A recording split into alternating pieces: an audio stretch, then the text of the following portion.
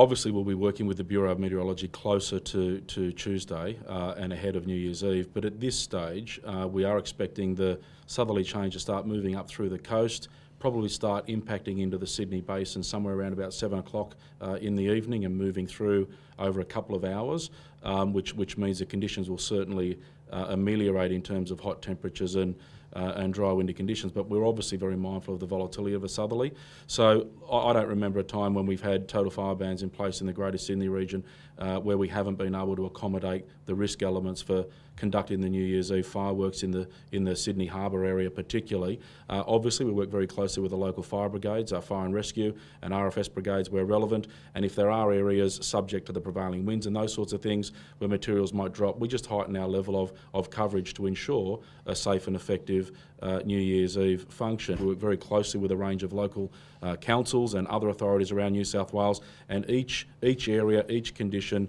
is assessed on its merits based on the local conditions, based on the level of risk, and based on the uh, level of protection that might be able to be afforded. So. We do that every year when, when it coincides with uh, uh, New Year's Eve, uh, and we'll do that again this year. But at this stage, um, I, I, I, can't foresee the Sydney New Year's Eve efforts being